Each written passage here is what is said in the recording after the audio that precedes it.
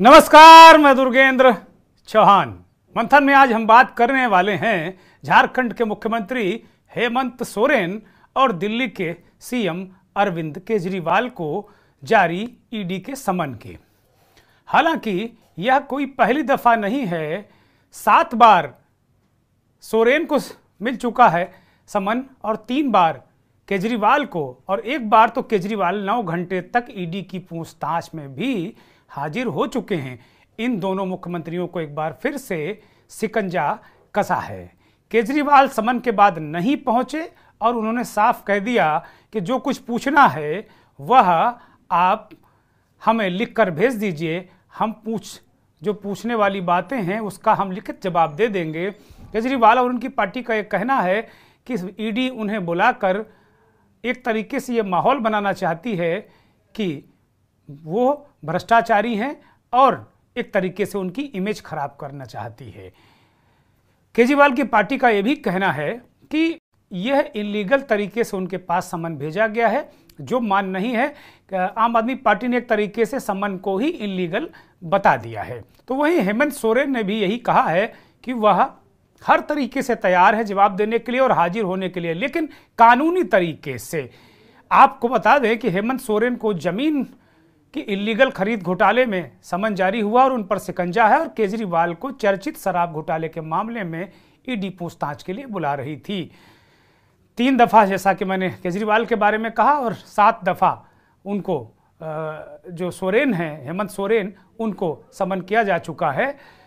तमाम विपक्षी दलों के इस सव, इस पर जो सवाल भी उठाए हैं और वो कह रहे हैं कि भाई सत्ता पक्ष की ओर से ये कहा जा रहा है कि अगर केजरीवाल और सोरेन कसूरवार नहीं है तो उन्हें ईडी के सामने प्रस्तुत होना चाहिए, उनके सवालों का जवाब देना चाहिए। बावजूद इसके, इससे बचते नज़र क्यों आ रहे हैं? लगातार इंडिया गठबंधन की मुश्किलें बढ़ रही हैं, क्योंकि ये दोनों दल इंडिया गठबंधन का हिस्सा हैं, लोकसभा चुनाव नज़दीक है। ऐसे तमाम तरीके के सवाल उठाए जा रहे हैं।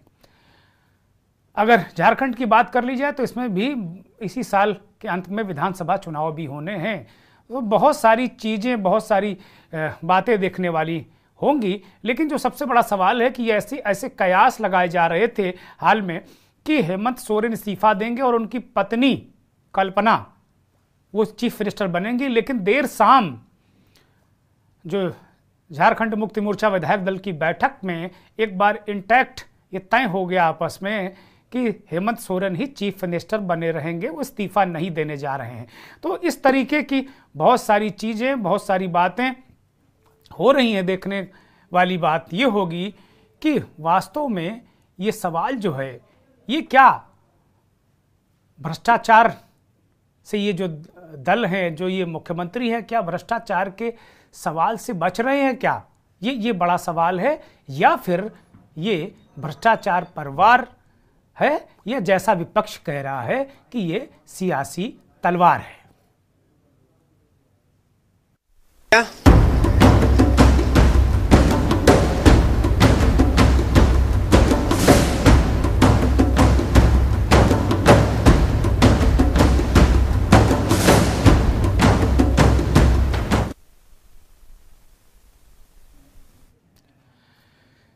इसी तरीके से जो बिहार के डिप्टी सीएम हैं, तेजस्वी यादव, उनको भी समन किया गया। पाँच जनवरी को उनको भी प्रस्तुत होना है। तो जो सारे नेता हैं, वो इंडिया गठबंधन वाले ही हैं, जिनको समन किया गया है। और अभी ये भी एक खबर आई थी कि 300 सीटों पर इंडिया गठबंधन का जो आपस में कांग्रेस के साथ जो सीटों का बंटवारा भी हो रहा है। इंडिया गठबंधन तेज़ी से लोकसभा चुनाव की तैयारी कर रहा है। इस इन खबरों के बीच इन दोनों मुख्यमंत्रियों को ईडी का सम्मान और ईडी लगातार इन्हें बुला रही और ये जा नहीं रहे हैं। भ्रष्टाचार, किसी प्रकार के किसी भ्रष्टाचार का, के न्यूज़ न समर्थन करता है और न उसके पक्ष में कोई बात करना चाहता है। के न्यूज़ और हम, हमारी जो पत्रकारिता है, वो भ्रष्टाचार को मिटाने वाली पत्रकारिता है भ्रष्टाचार के, के मिटाने वालों के साथ खड़े हैं। लेकिन वो साफ़ मन से कोई भी कार्रवाई होनी चाहिए वो साफ़ मन से होनी चाहिए ऐसी हम मनसा रखते हैं पक्ष से और विपक्ष से भी। अगर आंकड़ों पर गौर किया जाए तो अब तक 121 लोगों पर कार्रवाई हुई जिसमें पंचानबे लोग विपक्ष के हैं। बार बार विपक्ष इस बात का सवाल भी उठा रहा है कि भाई जिन लोगों को कहा जाता था एनसीपी के जो अजित पवार हैं अजित पवार गुट के नेता अजित पवार, उनको सत्तर हज़ार करोड़ के घोटाले का आरोपी बताया जाता था। वो फ़ाइल कहाँ गई? हेमंता विश्व शर्मा, हज़ारों करोड़ के घोटाले के आरोपी, उन, इस समय बीजेपी की मुख्यमंत्री, वो फ़ाइल कहाँ गई? बहुत सारी इस तरीके की बातें जो आज केजरीवाल की पार्टी और केजरीवाल उठा रहे हैं कि भाई इतने सारे जो अपराधी या कहिए कि जो आरोपी हैं, माफ़ कीजिएगा, वो आरोपी, उन आरोपियों को क्या क्षमादान मिल गया क्या? ये बहुत सारे सवाल विपक्ष के लोग उठा रहे हैं। लेकिन ये सब कहने से क्या कोई बच जाएगा? ऐसा होना नहीं चाहिए। तो बड़ा सवाल यही है कि क्या ये भ्रष्टाचार पर वाकई चोट है या फिर मामला निशाना वोट है क्या? इसी तरीके के सवालात खड़े हुए हैं। और एक और बड़ी बात यह है कि कुल मिलाकर एक बीजेपी लगातार हमले कर रही है। बीजेपी और प्रधानमंत्री खुद कहते हैं कि सारा जो विपक्ष है, विपक्ष के नेता हैं, वो सब भ्रष्टाचारी हैं, आकंठ में डूबे हैं, परिवारवादी हैं।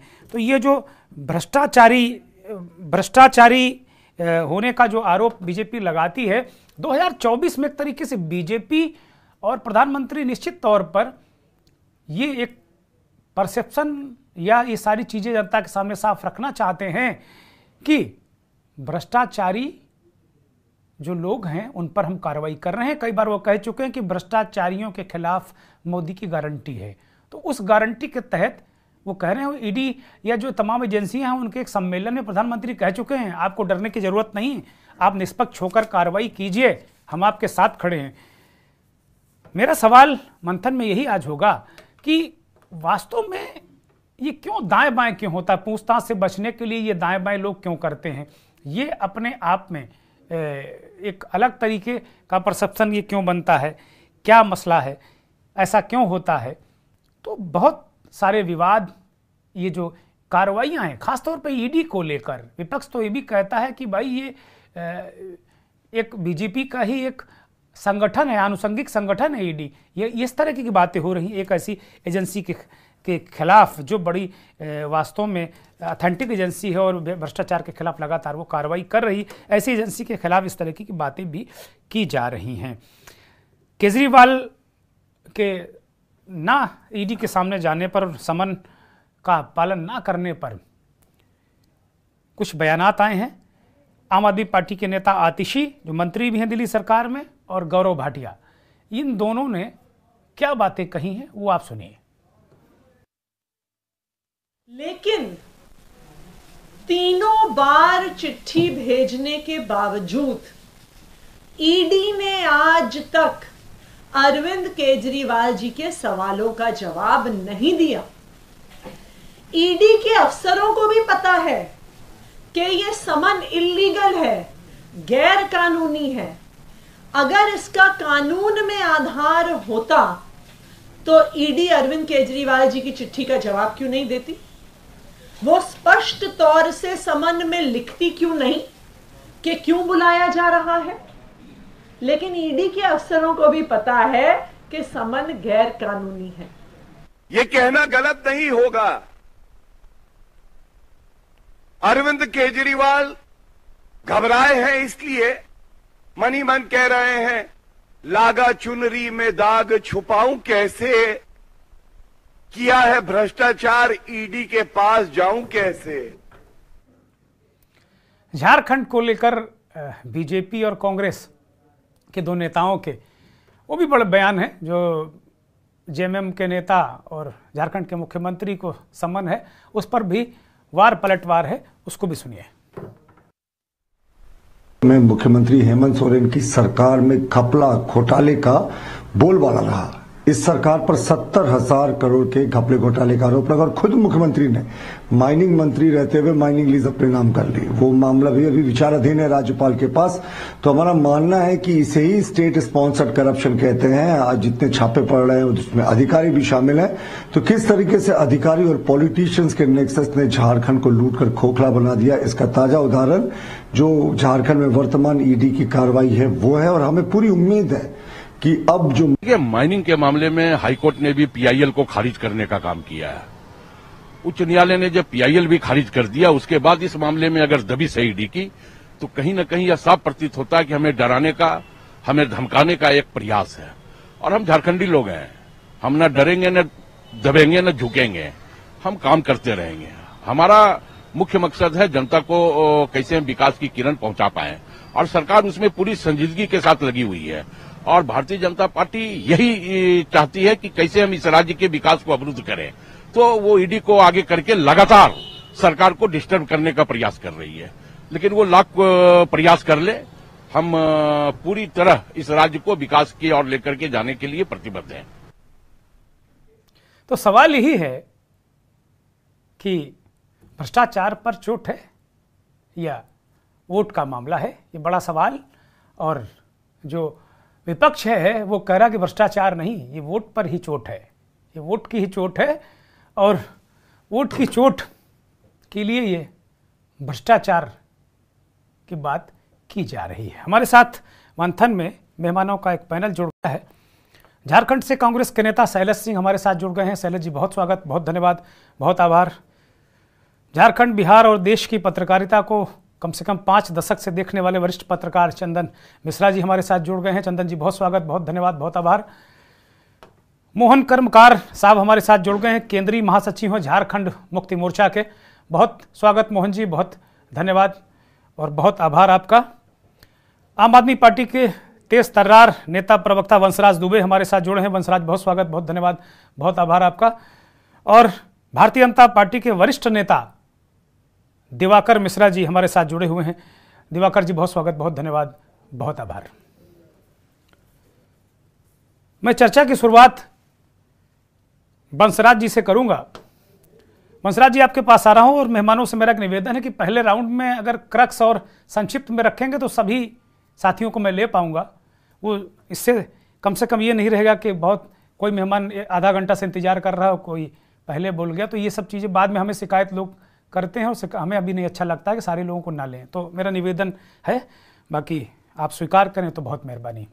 बंसराज, मैं आपके पास आ रहा हूँ। भाई, आप लोगों को दिक्कत क्या है? जब भ्रष्टाचार पर कार्रवाई होती है तो आप लोग हल्ला मचाने लगते हैं। और भाई, कुछ नियम है, कानून है, सिस्टम है। आपको अगर कोई बुला रहा है तो आप जाइए, पूछताछ करिए। अगर आप दोषी नहीं हैं तो पूछताछ में क्यों नहीं शामिल हो रहे हैं? क्या दिक्कतें हैं? और इसको लेकर जब आप लोग नहीं जाते हैं तो भारतीय जनता पार्टी के लोग और ये सब परसेप्शन बनाते हैं कि भाई आप भ्रष्टाचारी हैं, जबकि आप तो भ्रष्टाचार के विरोध की कोख से उपजी पार्टी हैं। वंशराज दुबे। दुर्गेंद्र भाई, मैं लाइन ही यहीं से शुरू करना चाहूँगा कि हमारा तो जन्म ही भ्रष्टाचार के खिलाफ हुआ है। तो हम कहा जो है भ्रष्टाचार से समझौता कर लेते पहली चीज़। दूसरी चीज़ देखिए जिस जाँच की बात हो रही शराब नीति के मामले में डेढ़ साल से जाँच चल रही है, ईडी, सीबीआई कर रही लेकिन चाहे उनका फेलियर कह लीजिए, या चाहे आम आदमी पार्टी की ईमानदारी की बात कह लीजिए कि एक रुपए का भी भ्रष्टाचार का आरोप अभी तक तय नहीं हो पाया, जबकि 500 से ज़्यादा गवाहों को ये एक तरीके से पूछताछ कर चुके अरविंद केजरीवाल जी के मामले में यहाँ पर देखना यह है कि जैसे ही ईडी मान लीजिए ईडी कोई सम्मन तैयार करती है नोटिस तैयार करती है तो वो ईडी वो सम्मन जो है, एक हफ़्ते पहले ही भारतीय जनता पार्टी के कार्यालय से या किसी प्रवक्ता के माध्यम से टीवी चैनल्स पे और मीडिया के सामने आ जाता है कि फला डेट को अरविंद केजरीवाल गिरफ़्तार होंगे, फला डेट को ईडी जो है नोटिस भेजने जा रही है। तो ये एक बहुत बड़ा प्रश्न है कि ये ईडी जो नोटिस भेजती है अरविंद केजरीवाल जी को, जो सम्मन भेजती है, क्या वो भारतीय जनता पार्टी के कार्यालय से तय होता है? नंबर दो अरविंद केजरीवाल जी इस पूरे मामले में एक सवाल कर रहे हैं। माननीय मुख्यमंत्री जी सिर्फ़ एक सवाल कर रहे हैं ईडी से कि आप हमको बुला रहे हैं। ठीक है, हम आने के लिए तैयार है, लेकिन आप ये बताइए कि आप किस हैसियत से हमको बुला रहे हैं? क्या इसमें मैं अक्यूज हूँ? क्या मैं इसमें गवाह हूँ? आम आदमी पार्टी का संयोजक होने के नाते, राष्ट्रीय अध्यक्ष होने के नाते, या फिर दिल्ली का मुख्यमंत्री होने के नाते? तो ईडी के पास, यानी भारतीय जनता पार्टी की जो फ्रंटल है, ईडी के पास कोई जवाब नहीं। देखिए, ये सबसे दिलचस्प बात क्या है भाई, कि जब अगर आप छगन भुजबल के बारे में आप जानते हैं, छगन, अभी आप तमाम नेताओं का ज़िक्र कर रहे थे, छगन भुजबल जी छूट गए। छगन भुजबल जी 2016 में ईडी ने इनके ऊपर केस फ़ाइल किया 100 करोड़ से ज़्यादा आरोप था घोटाले का। उस समय विपक्ष के नेता थे छगन भुजबल, और दो साल बकायदा जेल में रहे। 2018 तक वो जेल में रहे। लेकिन अभी दो हफ़्ते पहले आपने देखा क्योंकि छगन भुजबल जी दोनों हाथे फैलाकर नरेंद्र मोदी जी ने उनको गले से लगाया तो इसलिए ज़ाहिर सी बात है मोदी वॉशिंग पाउडर से साफ़ साफ़ सुथरे हो गए तो अब उनके ऊपर कोई आरोप नहीं है। सोचिए, उस ईडी ने कोर्ट में क्या कहा कि इनके ऊपर जो दायर की गई याचिका थी हमारी, वो तो गायब हो गई है। यानी ईडी की याचिका ही नहीं मिल रही है, वो छगन भुजबल जो जो सौ करोड़ के आरोपी थे, दो साल जेल काट चुके थे। आपने अजीत पवार का ज़िक्र किया नरेंद्र मोदी जी का एक, ज़रूर मैं एक बयान कोट करना चाहूँगा आपके चैनल पे। मैं मैं ज़्यादा समय नहीं लूँगा, एक मिनट खाली। कि नरेंद्र मोदी जी ने कहा कि भ्रष्टाचारी अगर मेरी बगल में खड़ा हो जाए तो मेरे ताप से भस्म हो जाता। और जब ये बात नरेंद्र मोदी जी कह रहे थे, दुर्गेंद्र भाई, उस समय हेमंत विश्व शर्मा जिसका वाटर घोटाले में आरोपी जो था, जिसका जिसका बुकलेट भारतीय जनता पार्टी ने हिंदुस्तान के हर गली में बांटा, और जैसे ही वो भाजपा में शामिल हुआ, वो पाक साफ़ हो गए। शिवराज सिंह चौहान मामा जो व्यापम घोटाले के आरोपी हैं वो भी मुस्कुरा रहे थे ठीक है। और अजीत पवार जो तीन दिन पहले सत्तर हज़ार करोड़ के आरोपी थे वो अजीत पवार जैसे ही दोनों बाएँ फैला के नरेंद्र मोदी जी स्वागत करते हैं अजीत अजीत पवार भी साफ़ सुथरे हो जाते हैं तो ये दल ईमानदार वर्सेस बेईमान की लड़ाई है और इस लड़ाई में आम आदमी पार्टी डिगने वाली नहीं है। हम तो बार बार कह रहे हैं कि ये कहीं ना कहीं भारतीय जनता पार्टी अरविंद केजरीवाल जी को लोकसभा चुनाव से पहले गिरफ़्तार करके इसलिए भेजना चाहती ताकि लोकसभा चुनाव में अरविंद केजरीवाल प्रचार न कर सके आम आदमी पार्टी प्रचार न कर सके। ये इनका कहीं ना कहीं मोटे तौर पे ठीक है मैं मैं मोहन कर्मकार को भी चर्चा में शामिल करता हूँ। मोहन कर्मकार राष्ट्रीय केंद्रीय राष्ट्रीय महासचिव झारखंड मुक्ति मोर्चा के मोहन भाई मैं आपके पास आ रहा हूँ। लगातार आपके मुख्यमंत्री जी को झारखंड के मुख्यमंत्री जी को सम्मान दिए जा रहे हैं। ज़मीन का घोटाला है। एक सम्मानित नेता और मुख्यमंत्री होने के नाते उनको पालन करना चाहिए कानून का जाना चाहिए। सिर झुका के पूछना चाहिए कि भाई, क्या क्या भ्रष्टाचार हमने कर दिया जब उन्होंने नहीं किया है? जब कर नहीं तो डर नहीं। और बार बार बुलाया जाना और ना जाना, इससे भी एक परसेप्शन बनता है कि भाई, कहीं ना कहीं कोई दाल में काला है या पूरी दाल ही काली है। जी। इससे पहले भी ईडी का सम्मान इससे पहले भी आया था और जहाँ तक उनकी है, सम्मान का सम्मान किया गया। और हमारे माननीय मुख्यमंत्री हेमंत सोरेन जी ईडी के समक्ष उपस्थित भी हुए और ज़मीन से संबंधित जो भी बातें थी या और भी जो भी सवाल पूछना था, उन सारे सवालों का वहाँ जवाब दे चुके थे। और बार बार एक ही चीज़ को लेकर के सम्मान भेजना और जब उनकी सम्मान का जवाब हम रिटर्न में उनको दे रहे हैं, उनके बावजूद भी कहीं ना कहीं ऐसा लगता है कि हमारी सरकार को, माननीय हेमंत सोरेन, राज्य के मुख्यमंत्री को अस्थिर करने का भाजपा के द्वारा इस तरह का एक षड्यंत्र करके, चाहे कहिए कि सरकारी एजेंसियों का दुरुपयोग करके आज परेशान करने की बात है और जहाँ तक बात है हेमंत सोरेन जी को, या इसकी सरकार को ये बदनाम करने के लिए ये सारी साजिश रचा जा रहा है। लेकिन हेमंत सोरेन एक आंदोलनकारी माननीय गुरु जी के सुपुत्र है और ये अच्छी तरह से लोग जानते हैं। कि इस तरह के कार्रवाई से वो भयभीत होने वाले नहीं है। वे और ज़ोर शोर के साथ राज्य की जनता को सेवा करते रहेंगे, राज्य को विकसित करने के लिए। चाहे जितना भी बड़ा बाधा आए, जिस तरह की परेशानी आए, सारे बाधा, सारे परेशानियों का सामना करते हुए राज्य को विकसित करने के लिए आगे बढ़ रहे हैं और राज्य की जनता को आज खुशहाल रखने के लिए हर योजनाओं को लेकर के गाँव गाँव तक जा रहे हैं। सरकारी अफसर को गाँव में भेज रहे हैं जहाँ कहीं भी लोगों की जो भी समस्याएँ हो उनकी समस्याओं को सुना जाए और उनका समाधान भी एकदम समय सीमा के भीतर उसका तुरंत किया जाए। ये तमाम प्रयास आज किया जा रहा है और जिसको लेकर के जिसको देख करके हमको ऐसा लगता है कि भाजपा के पास अब कोई इस राज्य के जनता के पास जाने के लिए कोई विकल्प नहीं रहा उसके पास। क्योंकि वे लगभग यहाँ पर आप देखे होंगे हमको लगता है कि 18 से 18 साल तक लगभग इस राज्य में अलग होने के बाद उन्होंने शासन चलाया। और जिस तरह से उन्होंने इस राज्य को इतना पीछे ले गया राज्य की खनिज संपदाओं का जिस तरह से उन्होंने दोहन किया आज उन तमाम चीज़ों पर अरे ये आरोप तो आप पर लगाते हैं कि खनिज संपदाओं का दोहन करके आप लोग अपने अपने खजाने भर रहे हैं। ये तो आप आपके ऊपर आरोप लगाते हैं बीजेपी के लोग। देखिए भाजपा का तो यही काम है। जहाँ जहाँ नन बीजेपी सरकार है वहाँ पर उसको किसी ना किसी षड्यंत्र के तहत उसको फंसाया जाए उसको प्रताड़ित किया जाए उसको बदनाम किया जाए ताकि वहाँ पर सरकार को काम करने ना दिया जाए। ये तो उनकी साजिश है। आप देख रहे होंगे जहाँ जहाँ भारतीय जनता पार्टी की सरकार है जिस राज्य ठीक है। वहाँ करप्शन मोहन जी मैं मैं जवाब ले लेता हूँ दिवाकर मिश्रा से मैं जवाब ले लेता हूँ। दिवाकर मिश्रा आपके पास मैं आ रहा हूँ। दोनों दल जिनके मुख्यमंत्रियों को आपने बिल्कुल ऐसे करके सिकंजा कस दिया है और आप कहेंगे कि ये मोदी की गारंटी है। वो करें, भाई, छगन भुजबल को क्यों छोड़ दिया? वो किसकी गारंटी है? जरा वो भी बता दो, दिवाकर मिश्रा। ये जो आप पार्टी वाले हैं, इनके लिए तो पूज्य अन्ना हजारे जी का वक्तव्य जो उन्होंने दिया है, मैं उसका उल्लेख करना चाहता हूँ। कि केजरीवाल से ये उम्मीद नहीं थी कि वो इस तरह की बेईमानी करेंगे। और गैर राजनीतिक आंदोलन को उन्होंने राजनीतिक लाभ के लिए प्रयोग किया है और इसीलिए उनके विश्वसनीय साथी कुमार विश्वास पूरे देश में ही नहीं, विदेश में भी केजरीवाल जी का विधवत यशोगान कर रहे हैं। तो आप पार्टी के लिए तो उन्हीं के लोग जो है, अभी आपने कहा कि कोख की बात कही तो निसंदेह भ्रष्टाचार के खिलाफ पूज्य अन्ना हजारे जी के द्वारा चलाए गए आंदोलन की कोख से जो है, गैर राजनीतिक आंदोलन को राजनीतिक बनाते हुए केजरीवाल जी ने इसका दुरुपयोग किया है आंदोलन का। नहीं आप ही और बताओ आपको इस बात का दर्द है कि केजरीवाल खड़े हो गए या ये दर्द है आपको कि भ्रष्टाचार का दर्द है या केजरीवाल का दर्द है? मैं समझ नहीं पा रहा हूँ। आप ये जरा मुझे बताओ दिवाकर भाई। पूज्य पूज्य अन्ना हजारे जी और कुमार विश्वास जी दो लोगों का जो अब आप कहते हो। कांग्रेस भी आज़ादी के आंदोलन से निकली पार्टी थी उसको भी भंग कर देना चाहिए केजरीवाल को भंग कर देना चाहिए तो क्या आप ही राजनीति करोगे इस देश में? दूसरा नहीं रहेगा।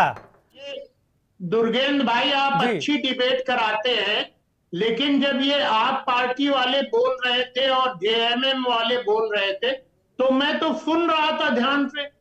अब मैं अरे भाई आपकी ज़िम्मेदारी है देश भर में आपकी सरकार है देश भर में आपकी सरकार है। आपकी ज़िम्मेदारी आपसे सवाल होंगे बोलिए। नहीं नहीं सवाल होंगे लेकिन मेरी बात पूरी होने के बाद जितने सवाल होंगे मैं जवाब दूँगा। बोलिए। बोलिए बोलिए। आदरणीय तो उनके लिए तो पूज्य अन्ना हजारे जी और कुमार विश्वास जी का जवाब पर्याप्त है। मैं ये कहना चाहता हूँ कि यदि केजरीवाल जी मनीष सिसोदिया जी संजय ये पूरा गैंग है लुटेरों का गैंग है भ्रष्टाचारियों का गैंग है। और उन्होंने इसमें लूटने का काम किया है अरे भाई, तो कानून अपना काम। बंसराज जी बोलने दीजिए भाई बोलने दीजिए बोलने दीजिए बोलने दीजिए। दीजिए दिवाकर जी को बोलने दीजिए भाई। दिवाकर जी को बोलने दीजिए। बंसराज। मैं नहीं बोला था ना। बंसराज दुबे अब जरा डिबेट की शालीनता रखो भाई। डिबेट की शालीनता रखो। ये ये ये बीच में मेरा अधिकार है इंटरप्ट करने का। मत करो भाई। बोलो। के लोगों को डिबेट में ना बुलाया करिए अरे बोलिए बोलिए दिवाकर भाई अब अब अब अब ये भी मत तय करिए भाई प्लीज़ बोलिए। आप आप सुनिए ना नहीं दुर्गेन भाई सुनेंगे। हाँ सुने तो बोलिए बोलिए आप बोलिए नहीं इसी में इसी में समय निकल जाएगा बेकार। कानून अपना काम कर रहा है। हाँ बोलिए। और कानून नियमानुसार काम कर रहा है। रही बात हमारे मित्र जो जेएमएम के हैं तो जेएमएम का तो रिकॉर्ड है, ये इनका पैतृक धंधा है। खनिज का दुरुपयोग करना, ये लोग कोयला निकाल के बेच लेते हैं, और जो खनिज है उनको निकाल करके बेच लेते हैं। तो ये तो परंपरागत व्यवसाय है, झारखंड मुक्ति मोर्चा के नेताओं का। मैं यहाँ पर हेमंत सोरेन जी की बात कर रहा हूँ, और उनके पिताजी की भी बात कर रहा हूँ। मैं केवल इतना कहना चाहता हूँ, दुर्गेन भाई, के हम लोगों ने सुना है और आँखों से देखा है कि चोर आगे आगे भागता है, पुलिस उसके पीछे दौड़ती है। और पुलिस जो है चोर को पकड़ लेती है। उसी तरह से देश में ये तो आप पार्टी वाले हैं, जेएमएम वाले हैं। मैं कहना चाहता हूँ कि कोई भी भ्रष्टाचारी होगा तो ये मोदी की गारंटी है कि उसे भ्रष्टाचार करने का कोई अधिकार नहीं है। छगन भुजबल वाले में वो नहीं मिल रही रिटर्न नहीं मिल रही शिकायत नहीं मिल रही। वो तो बताओ भाई दिवाकर भाई छगन भुजबल वाले में वो एप्लीकेशनें गायब हो गई? ये क्या ड्रामा है? आप छगन भुजबल का नाम ले रहे हैं उनके खिलाफ प्रॉपर वे में कार्रवाई चल रही वो है कहाँ? अरे वो- चाहता फ़ाइल गायब हो गई। ईडी करे फाइलें गायब हो गई क्या मसला है? क्या झंझट है? दुर्गेंद्र भाई जी। मैं न्योता देना चाहता हूँ। अरविंद केजरीवाल जी को जिन्होंने छोटे छोटे विषयों को लेकर के मुख्यमंत्री रहते हुए धरना प्रदर्शन किया छगन भुजबल के खिलाफ वह पूरे देश में क्यों नहीं आंदोलन करते? मैं तो कहता हूँ अगर उन्हें लगता है कि कहीं कोई गड़बड़ है छगन भुजबल के खिलाफ क्यों करेंगे? वो बीजेपी के खिलाफ करेंगे। वो तो कह रहे हैं कि आप आपका फ्रंटल संगठन है। वो आम आदमी पार्टी वाले कह रहे हैं कि आपने फ्रंटल बना दिया है आनुषंगिक बना दिया है। भाई छगन भुजबल के खिलाफ आप पार्टी पूरे देश में आंदोलन ठीक है दिवाकर भाई मुझे ब्रेक पर जाने का इशारा हो रहा है मैं ब्रेक पर जाऊँगा और जब ब्रेक से लौटूँगा तो हमारे साथ बहुत ही वरिष्ठ पत्रकार चंदन मिश्रा जी जुड़े हुए हैं उनसे पूछेंगे कि मसला ये वास्तव में भ्रष्टाचार परिवार है या सियासी मसला है सियासी तकरार है? आप देख रहे हैं के न्यूज़ खबरों का सारथी।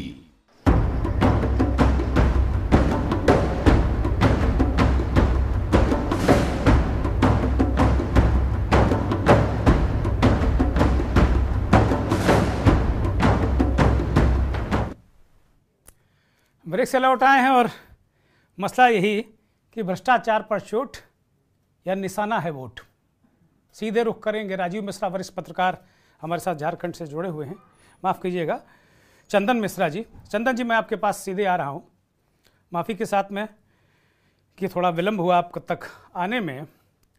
सवाल आपसे यही है कि आपको क्या नज़र आ रहा है? क्योंकि अब इंडिया वाला गठबंधन अपना सेप ले रहा है, तरीके से आकार ले रहा है, सीटों का बंटवारा हो रहा है। झार झारखंड मुक्ति मोर्चा भी उसका हिस्सा है, केजरीवाल भी उसका हिस्सा है, तेजस्वी यादव भी हिस्सा हैं, तेजस्वी यादव को भी सम्मान दिया गया है। आपको क्या लगता है कि साफ़ मन से भ्रष्टाचार पर चोट हो रही है, या फिर ये निशाना वोट है, राजीव जी चंदन जी? अब बार बार नाम जो है, भ्रमित हो जाते हैं। दुर्गेंद्र जी, ऐसा है कि ये देश जो है कानून व्यवस्था से चलती है ना? और देश में अगर ये राजनीतिक दल ये परिभाषित करें नैरेटिव सेट करें कि हम विपक्ष में हैं और हम कोई भी गुनाह करें तो जो भी हमारे खिलाफ कार्रवाई हो वह राजनीतिक चश्मे से देखा जाए। जी। तो मुझे लगता है कि थोड़ा लोगों को भ्रम में डालने वाली बात है। आप सीधे देखिए कि ईडी हो क्षमा कीजिएगा सीबीआई हो उपयोग और दुरुपयोग की बात एक अलग है। लेकिन अगर किसी भी पद पर बैठे हुए व्यक्ति के खिलाफ कोई आरोप चस्पा होता है तो उस पे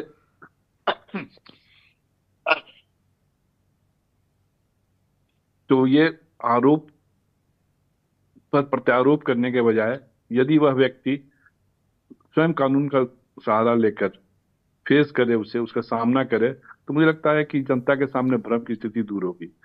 हम हमारी कमीज तुमसे ज़्यादा सफ़ेद ये जो फार्मूला है राजनीति में यह ज़्यादा दिन तक टिकने वाला है नहीं।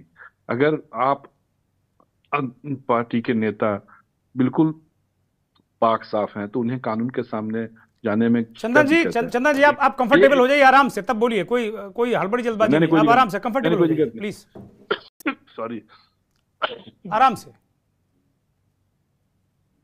क्षमा कीजिएगा। तो ये, यही है, चाहे झामुमो के नेता हों, मुख्यमंत्री हेमंत सोरेन जी हों, चाहे आपके नेता हों, सबसे बड़े मुख्यमंत्री दिल्ली के अरविंद केजरीवाल जी हों, या अन्य दलों के नेता हों। भाई अगर आपको ईडी ने समन किया है तो आप जाएँ, अगर आपसे कोई बात पूछना चाह रहा हो एजेंसी तो आप बताएँ, भाई आप पाक साफ़ हैं, आपने कोई गड़बड़ी नहीं की है। बताने में क्या हर्ज है? लेकिन ये जो समन के बाद सामना न करना फेस न करना और ये बार बार कहना कि ये हमारे खिलाफ में पॉलिटिकल वेंडेटा के तहत कार्रवाई हो रही है ये मुझे लगता है कि अब के समय में ये कहना उचित नहीं होगा। और जहाँ तक इंडी गठबंधन की बात है कि आप देखिए जितने नेताओं के खिलाफ कार्रवाई चल रही है ये कार्रवाई कोई कागज़ पे या हवा पे तो है नहीं। कहीं ना कहीं एविडेंस है। और अभी जैसे हमारे झामुमो के नेता कर्मकार जी कह रहे थे कि पहले ही जवाब दिया। पहले जिस बात पर लेके हेमंत सोरेन जी ने ईडी के सामने अपने सफ़ाई पेश किए है, वह मामला था दूसरा। और अभी उसके बाद के घटनाक्रम में ज़मीन के कई ऐसे मामले सामने आए हैं, जिसमें हेमंत सोरेन जी को जवाब देना चाहिए। उनके खिलाफ एजेंसी के पास एविडेंसेस है कोर्ट में उन्होंने प्रोड्यूस किया है। तो अगर वो बिल्कुल निर्दोष है, निरपराध है तो एजेंसी के सामने जाने में कोताही नहीं बरतनी चाहिए। और आप चैलेंज कर रहे हैं व्यवस्था को। आप भी कल को अगर मान लीजिए किसी सरकार के आप सरकार चला रहे हैं और कोई ऐसा आरोपी जो आपकी पुलिस एजेंसी या सीबीआई सीआईडी और आपके जो एजेंसी है, उनके, उन पर कार्रवाई करना चाहे, उन्हें बुलाए और वो इसी तरह बिट्रे करे, ना जाए तो आप क्या करेंगे आप? आप तो कानून का भी सहारा लिए थे। आप तो सुप्रीम कोर्ट तक गए कि भाई ईडी ने ज़बरदस्ती मुझे समन भेजा है, ये गलत है, ये पॉलिटिकल ये लोग हम परेशान में डालना चाह रहे हैं। सुप्रीम कोर्ट ने क्या कहा? हाई कोर्ट के पास जाओ। हाई कोर्ट ने कहा कि ईडी को अधिकार है।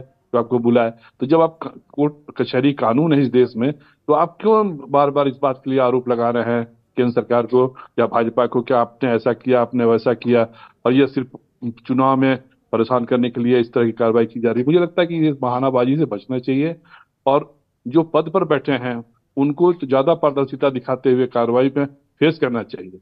मुझे लगता है कि अगर वे सामने जाएँ, अपनी बातों को रखें तो ईडी अगर सच में पॉलिटिकल वेंडेटा के तहत कार्रवाई कर रही है तो उसका भी सामना हो जाएगा, कोर्ट उनको रगड़ के रख देगा। लेकिन अगर ऐसा नहीं हो रहा है तो ये मुझे लगता है कि अब के समय में ये पूरे देश में एक नरेटिव सेट करना कि मोदी जी परेशान कर रहे हैं ऐसे लोगों को जो पॉलिटिकल अलायंस में एक साथ हैं और चुनाव में उनको परेशानी में डाल सकते हैं। अभी तीन राज्यों का चुनाव हुआ, तीन राज्यों के पाँच राज्यों का, तीन में भारतीय जनता पार्टी जीती। सारे लोग तो एक साथ थे। कौन सा ऐसा असर पड़ा इस पॉलिटिकल अलायंस का जिसके चलते रिज़ल्ट में बीजेपी के खिलाफ गया हुआ मुझे लगता है कि इन सब चीज़ों को समझना चाहिए। और समझने के बाद इन बातों को रखना चाहिए। जनता भी आज बेवकूफ़ नहीं है। आप बार बार इस तरह का नैरेटिव सेट करेंगे कि भाई ये पॉलिटिकल वेंडेटा के तहत कार्रवाई हो रही है तो जनता समझने वाली है कि सच क्या है झूठ क्या है। ठीक है ठीक है। मैं मैं कांग्रेस के नेता को चर्चा में शामिल करता हूँ क्योंकि गठबंधन की जो लीड पार्टी है कांग्रेस पार्टी है शैलेश सिंह मुस्कुरा रहे हैं। अपने दो दो साथियों पर सिकंजा कसा हुआ है शैलेश जी। और जैसा कि चंदन मिश्रा जी ने कहा कि आप लोग विक्टिम कार्ड खेलने लगते हैं कि भाई Modi ji political agenda set करे हैं। आम आदमी पार्टी और आप लोग कहते हैं कि ये फ्रंटल संगठन है भाजपा का। इन बातों से क्या काम चल जाएगा? क्या राजनीति हो पाएगी क्या? अगर भ्रष्टाचार के खिलाफ कोई सरकार कार्रवाई कर रही है तो दिक्कत क्या है? और आप लोग विक्टिम कार्ड होके निरीह बन के साथ मोदी जी बिल्कुल मारे डाल रहे हैं। ऐसा ऐसा क्यों जनता के सामने ऐसा रखते हैं? और जैसा कि चंदन जी ने कहा कि जनता ने तो बता दिया है तीन राज्यों में बीजेपी को जिता के कि आपका ये सब नेरेटिव चलने वाला नहीं विक्टिम कार्ड शैलज जी। देखिए सिक्के के दो पहलू हैं। जी। चंदन जी ने कि एक बात से तो मैं सहमत हूँ कि अगर दाग नहीं है तो ईडी को फेस करना चाहिए। परंतु दूसरी बात यह भी है कि जिस भ्रष्टाचार का नाम पर वो चुनाव लड़ते हैं मोदी जी तो उनके नेता भ्रष्टाचारी नहीं हो पाते हैं। उनको उनकी पार्टी में शामिल नेता का भ्रष्टाचार उन्हें भ्रष्टाचारी नहीं होंगे तो क्या ज़बरदस्ती टांग दें। भाई शैलेश भाई क्या बात कर रहे हैं आप? भ्रष्टाचारी नहीं होंगे तो क्या ज़बरदस्ती पेड़ पर लटका दें उनको कि भ्रष्टाचारी हो? क्या चाहते हो आप लोग भाई? पूरी भाजपा को लटकाने के चक्कर में हो क्या? हेमंत बिश्व शर्मा के नाम पर वो घूमते थे कि वो भ्रष्टाचारी हैं। नारायण राणे पर घूमते थे भ्रष्टाचारी हैं। शिवराज सिंह चौहान का घोटाला नहीं दिखाई दे रहा है।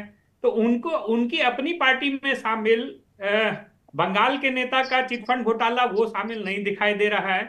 तो ये ये ये ये सिक्के का जो एक पहलू वो देखते हैं और दूसरा अपना आईना खुद नहीं देखते हैं। इस पर तो ज़रूर कार्रवाई होनी चाहिए। और लोगों को यह बताना चाहिए कि नहीं हमारे पार्टी में भी जो नेता हैं भ्रष्टाचारी हैं तो मैं उन पे भी कार्रवाई कर रहा हूँ। ऐसा ऐसा नरेटिव नरेंद्र मतलब केवल आप लोगों को दिखाने के लिए किसी को शहीद कर दें वो। बलि का बकरा बना देंगे जाओ भाई। तुम हो चाहे ना हो। आप लोगों को संतुष्ट करने के लिए इतना इतना भी पारदर्शी नहीं मोदी जी होने वाले। इसकी उम्मीद मत करो आप। इन नेताओं के खिलाफ बीजेपी के नेता ही मोर्चा खोल के रखे हुए थे। कौन से नेता खोले हुए थे भाई? दिवाकर अभी बताएँगे? अजीत पवार के खिलाफ तीन दिन पहले ये सत्तर हज़ार करोड़ के घोटाले का बयान दे रहे थे। उसके बाद जैसे तीन दिन बाद शामिल हुए उनको मुख्यमंत्री बनाने के लिए उप मुख्यमंत्री बनाने के लिए फिर से जाकर के वहाँ की सरकार गिरा करके और फिर से उनको उप मुख्यमंत्री बना दिया। भाई वो सत्तर हज़ार करोड़ के जो घोटाले का बात कर रहे थे वो तीन दिनों में कैसे वो खत्म हो गया? आप लोग शब्द पकड़ लेते हो तो शब्द पकड़ लेते हो। हो सकता है चुनावी सभा का कोई जुमला हो बोला हो उन्होंने। आप लोग शब्द पकड़ लेते हो दिल से ले लेते हो। नहीं नहीं दिल से तो फिर जाकर के क्या बात बोल रहे थे कि भाई सत्तर हज़ार करोड़ के घोटाला है? तो ये ये जो ये जो दोहरा चरित्र होता है भाजपाइयों का ये लोगों ये लोग भी समझ रहे हैं। ये लोग नहीं समझ रहे हैं ऐसी बात नहीं है ये लोग समझ रहे हैं। कहाँ समझ रहे हैं? इतना झुआ भर के वोट उनको मिल रहा है। आप लोग आप लोग जो आपके पास राज्य थे वो हारे जा रहे हैं। यही तो नहीं समझ रहे हैं लोग। मोदी की गारंटी को लोग समझ रहे हैं। अभी भी आप लोग समझ जाओ। मुझे लगता है कुछ कोई कार्य योजना लेकर आओ।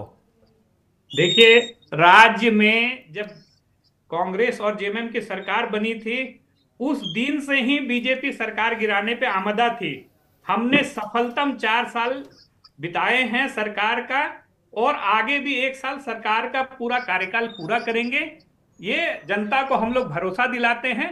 झारखंड में सरकार स्थिर है और स्थिर रहेगी। हेमंत सोरेन मुख्यमंत्री हैं और आज ही विधायक दल के नेताओं ने ये तय कर लिया है कि हेमंत सोरेन ही आगे भी मुख्यमंत्री रहेंगे और हम लोग उनके साथ हैं।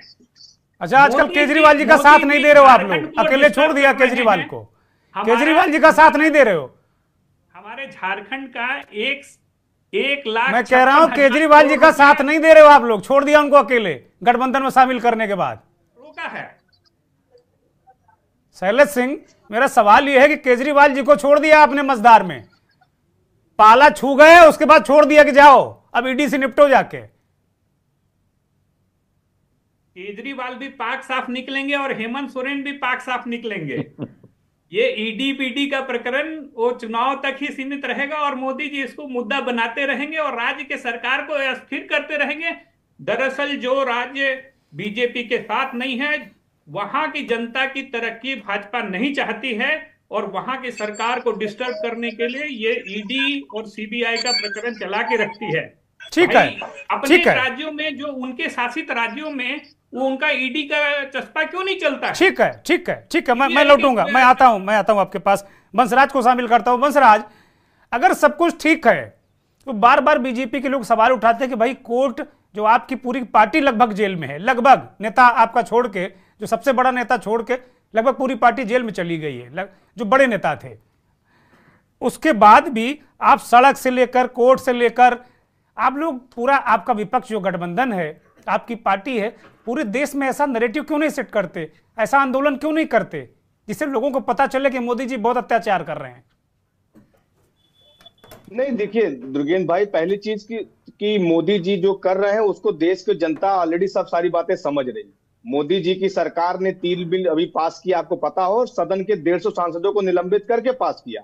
और उसका दुष्प्रभाव ये हुआ, दुष्परिणाम ये हुआ कि अभी आपको कल की दो दिन की खबर पता है कि किस तरीके से पूरे देश में चक्का जाम हो और पेट्रोल, डीजल के लिए अफरा तफरी मच गया।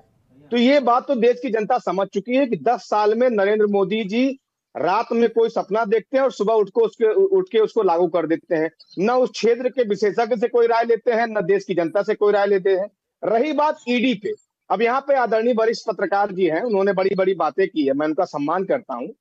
लेकिन ईडी के केस में और जो सामान्य केस होता है, उसमें बहुत अंतर होता है। जिस तरीके से वो कह रहे हैं कि भाई आपको बुलाया जा रहा है आप क्यों नहीं जा रहे हैं? अरे भाई किसी भी चीज़ में अगर आपको बुलाया जाएगा आपको सम्मान किया जाएगा तो उसमें आपको बताया जाएगा कि आपको किस हैसियत से बुलाया जा रहा है। क्या आप उस केस में गवाह हैं? क्या आप उस केस में अक्यूज हैं? क्या आप उस केस में आ, आप दिल्ली के मुख्यमंत्री के नाते बुलाए जा रहे हैं? क्या आप राष्ट्रीय संयोजक के नाते में बुलाए जा रहे हैं? कहीं कोई जवाब नहीं तो और दूसरी चीज़ जवाब कौन दे रहा है? जवाब ईडी नहीं दे रही। अरविंद केजरीवाल जी के प्रश्नों का जवाब ईडी नहीं दे रही है। अरविंद केजरीवाल जी के प्रश्नों का जवाब भारतीय जनता पार्टी के प्रवक्ता दे रहे हैं। तो क्या ईडी ही बीजेपी है, बीजेपी ही ईडी है? कंफ्यूजन दरअसल ये है। दूसरी चीज़, आप संजय सिंह को गिरफ़्तार कर लीजिए, ठीक है। मनीष सिसोदिया को आपने गिरफ़्तार कर लिया, ठीक है। लेकिन मिला क्या? Zero point five percent conviction rate है। ये फैक्ट है। ईडी के बारे में दुर्गेंद्र भाई, ये फैक्ट है कि zero point five percent conviction rate है पूरे देश में।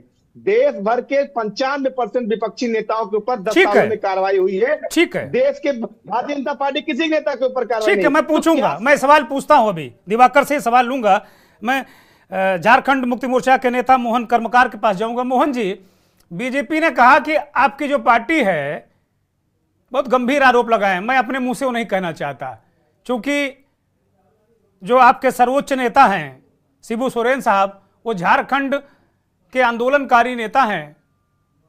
और उनके बारे में मैं बहुत दिवाकर जी के शब्दों को मैं दोहराना नहीं चाहता। लेकिन आपने सुना होगा कि वो कह रहे हैं कि आप लोगों की रवायत है, यही करना। झारखंड की एक तस्वीर उन्होंने खींची है।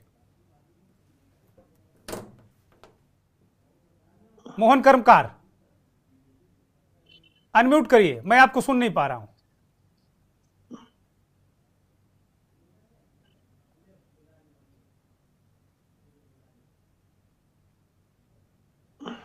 बोलिए। हेलो। हाँ बोलिए। हाँ मेरी आवाज़ जा रही है? जा रही है बोलिए। हाँ जो भाजपा के प्रवक्ता दिवाकर जी के द्वारा जिस तरह का आरोप लगाया जा रहा है ये आप जानते होंगे वो पहले अपने गिरेबान में झाँक करके देखे कि जिन लोगों के साथ मिल करके वो सरकार चला रही है और जिन लोगों को वर्तमान में जहाँ जहाँ सरकार तोड़ करके वो अपना सरकार बना करके वहाँ सरकार चला रही है वो दूध के धुले हुए लोग हैं। ये सभी लोग जानते हैं।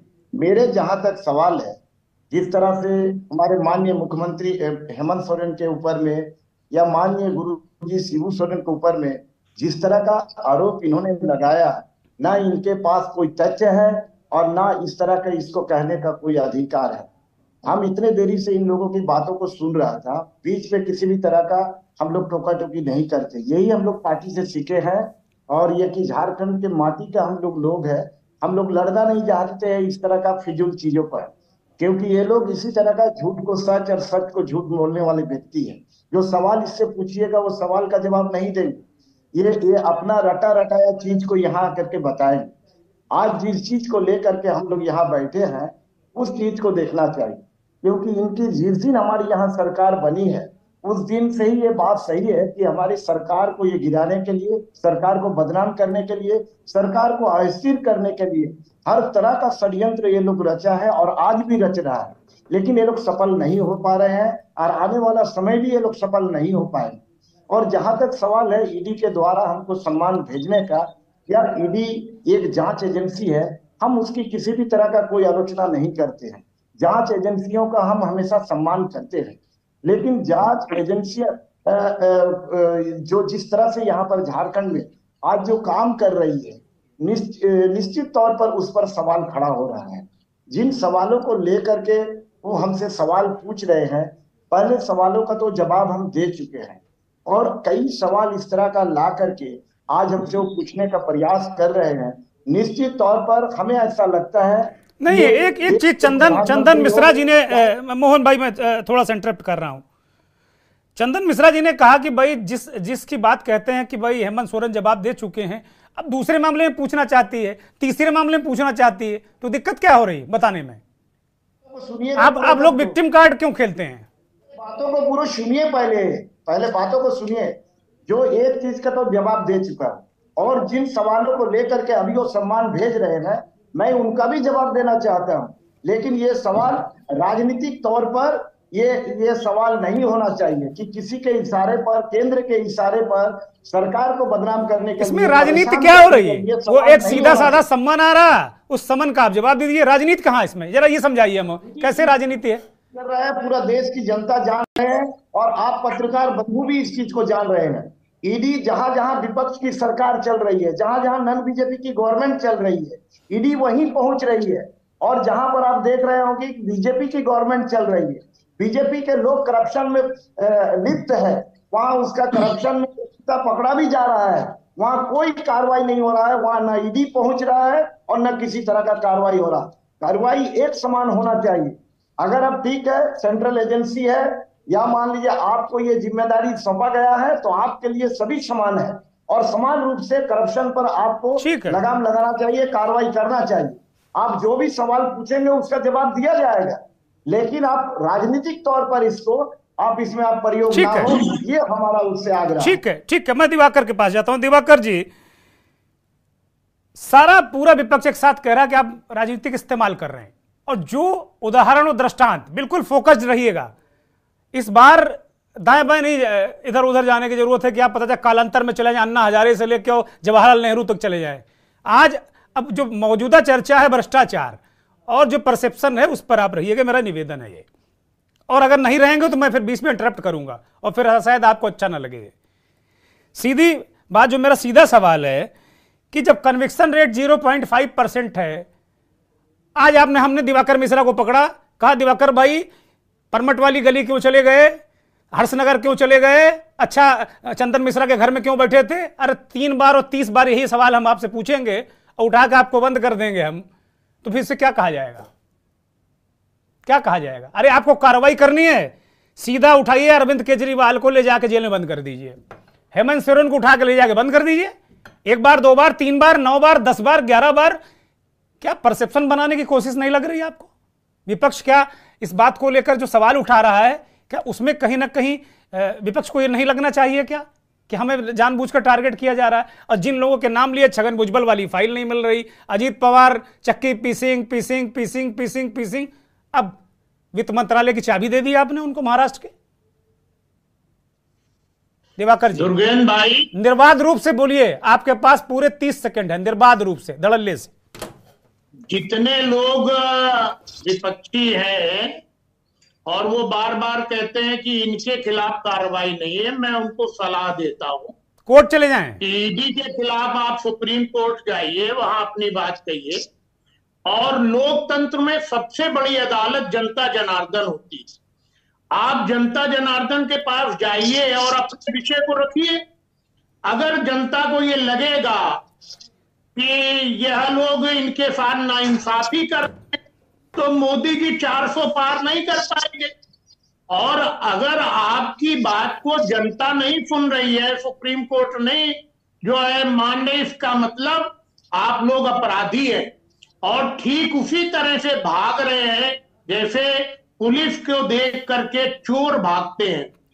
और मैं आपको यहाँ पर उल्लेख करना चाहता हूँ कि झारखंड का जो प्रांत प्रदेश बना है, वह बिहार से काट करके बना। तो बिहार में ये लोग जेल जा चुके हैं चारा खाने में और झारखंड में जा चुके हैं खनिज खाने। आपने कहा कि वो 0.5 परसेंट कन्विक्शन रेट मैं ऐसा नहीं मानता हूँ। जितने लोगों के खिलाफ कार्रवाई चल रही है उसमें से अधिकांश लोग या तो जेल के अंदर हैं या बेल पर है। चाहे कांग्रेस के राहुल गांधी जी हो सोनिया जी हो रॉबर्ट बडारा हो प्रियंका बडेरा ये सब बेल पे चल हाँ, आपने अच्छा याद दिला दिया। वाड्रा का तो आप आप लोग नाम भी नहीं ले रहे हैं। बहुत दिनों बाद आपने लिया बधाई आपको। बहुत दिनों बाद आपने नाम लिया। रॉबर्ट बाड्रा तो सीन से ही गायब हैं और इस देश के सबसे बड़े भ्रष्टाचारी। मैंने इसलिए लिया दुर्गेन भाई नहीं ठीक बात है। अगर भ्रष्टाचारी कोई है तो उसको लीजिए दौड़ाइए। ये कांग्रेस के नेतृत्व में मोदी सरकार के खिलाफ एक बड़ा आंदोलन चलावे और कानूनी लिखा पढ़ी करें। सुप्रीम कोर्ट में जाएँ दूध का दूध पानी का पानी हो जाएगा। अगर मोदी जी 400 पार करते तो ये सब बेईमान साबित हो जाएँगे। मोदी जी अगर 400 पार नहीं करते तो ये बड़े ईमानदार साबित ठीक है दिवाकर भाई अब अब मैंने आपको तीन गुना समय दे दिया। अब मैं रोक रहा हूँ माफ़ी के साथ मैं। रोक रहा हूँ दिवाकर जी।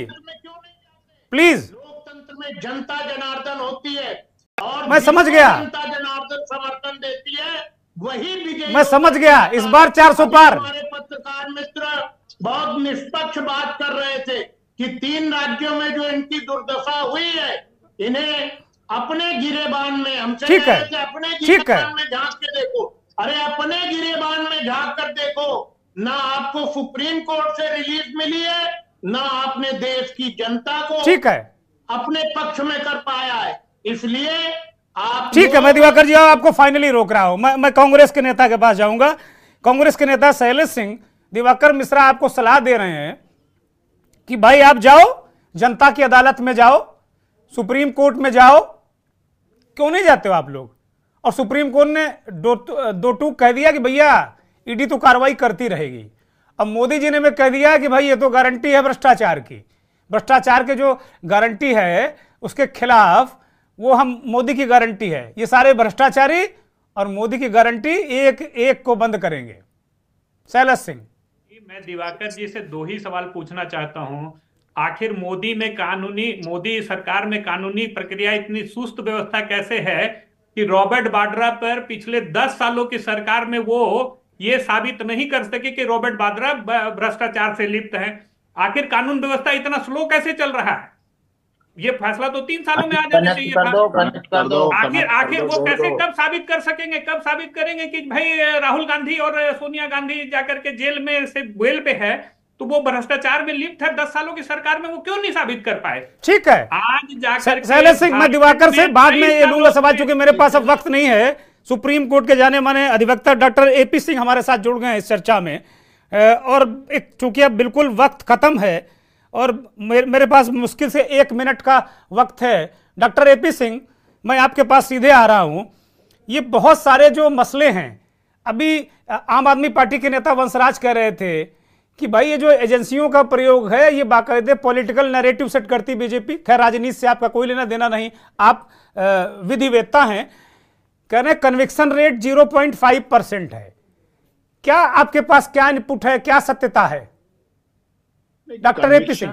अलग चीज़ है लेकिन एजेंसियों का सम्मान करना। देखिए मैं बड़ी साफ़ सी बात करता हूँ अंतिम क्षणों में आपसे जुड़ रहा हूँ व्यस्तता के कारण लेकिन संवैधानिक पद पर बैठे हुए व्यक्ति, जो संवैधानिक अपने मुखिया हैं, संविधान की शपथ लेकर बैठे हैं, पढ़े लिखे हैं आईआरएस से आए हैं, और बुद्धिजीवी हैं, उसके बाद क्या एक संवैधानिक शक्तियों का प्रयोग करने वाला व्यक्ति, संघीय ढांचे के अनुरूप काम करने वाला व्यक्ति, संवैधानिक संस्था के नोटिस पर पहुँचे ना, अपना जवाब ना दे, अपनी सफ़ाई ना दे, अपनी डिफेंस ना दे, अपनी बात ना कहे तो आम जनता, जो आम नागरिक है, साहब को क्यों पुलिस के बुलाए पे जाएगा? वो इन्वेस्टिगेशन ज्वाइन क्यों करेगा? वो थाने क्यों जाएगा? वो हम जब कहेंगे उससे कि जाओ, आईओ के पास इन्वेस्टिगेशन ज्वाइन करो जाके। तुम्हारा फ़र्ज़ कहे, नहीं, मैं नहीं जाता। मेरा मुख्यमंत्री नहीं जाता, मैं भी नहीं जाता।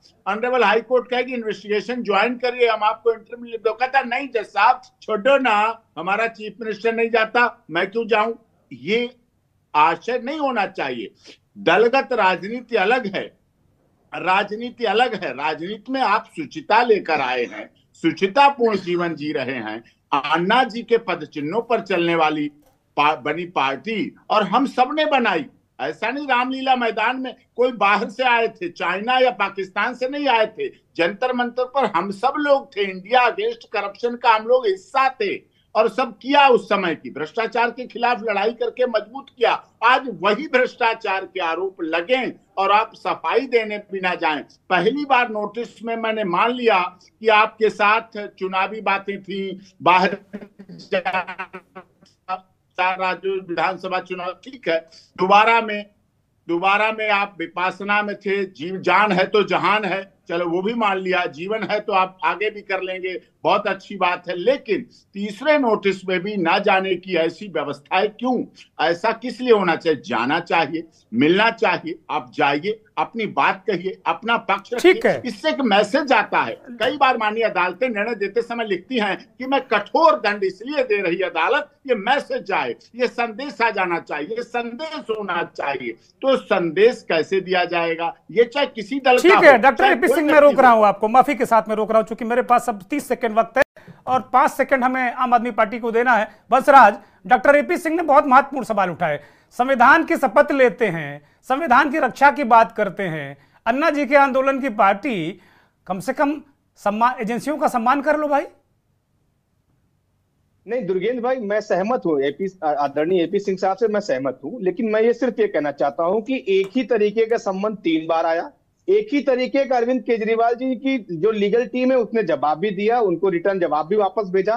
तो क्या ऐसी मजबूरी है ईडी की कि जो जवाब को बाईपास कर रही है? भाई जब बार बार एक ही सवाल किया जा रहा है कि आप हमको इस केस में क्यों सम्मन कर रहे हैं? क्या मैं अक्यूज हूँ? क्या मैं विटनेस हूँ? अरविंद केजरीवाल जी मुख्यमंत्री इस हैसियत से बुला रहे हो? राष्ट्रीय संयोजक है इस हैसियत से बुला रहे हो? तो कम से कम ठीक है तो ठीक है ठीक है। बड़ी महत्वपूर्ण मंसराज मैं आपको रोक रहा हूँ। मंसराज मैं रोक रहा हूँ। डॉक्टर एपी सिंह, बड़ी महत्वपूर्ण बात। आम आदमी पार्टी ने आज पूरे दिन कहा कि ये जो सम्मान है इनलीगल है। इनलीगल है। केवल पाँच सेकंड में। मेरा निवेदन है केवल पाँच सेकंड में। ये इनलीगल कैसे है? देखिए सम्मान है, आप वहाँ से इलीगल कहें, जब तक व्यक्ति पेश नहीं हुआ, जब तक उसने अपनी बात कही ना, उनके सवालों का जवाब कहाँ मिला? सम्मान मीन्स बुलावा पत्र। सम्मन मीन्स बुलाने का एक नोटिस है कि आप इस तारीख को इस स्थान पर इतने बजे इस सक्षम अधिकारी के पास इस केस को लेके पेश होइए। अभी सवाल नहीं हुए अभी जवाब नहीं आए। तो लीगल नहीं हो गया। सवाल जवाब दें। ठीक है, एक ठीक दौर है, चले ठीक। दो दौर चले तीन दौर चले ये होना चाहिए। डॉक्टर साहब वक्त इजाज़त नहीं देता है। उस पाँच सेकेंड अंतिम टिप्पणी चंदन मिश्रा जी की। चंदन मिश्रा की अंतिम टिप्पणी पाँच सेकंड। केवल पाँच सेकंड प्लीज़। अनम्यूट करिए अनम्यूट करिए।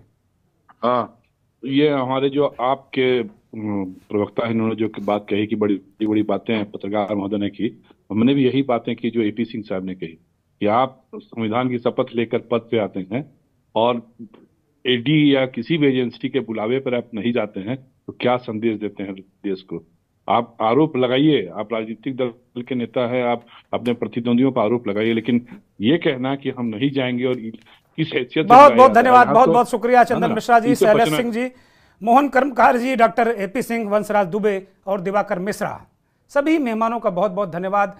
आभार उन करोड़ों दर्शकों का जो के न्यूज़ को देखते हैं हमारे इस खास कार्यक्रम मंथन को देखते हैं। बड़ा सवाल यही कि संविधान के शपथ लेने वाले लोगों को संविधान और एजेंसियों का सम्मान करना चाहिए।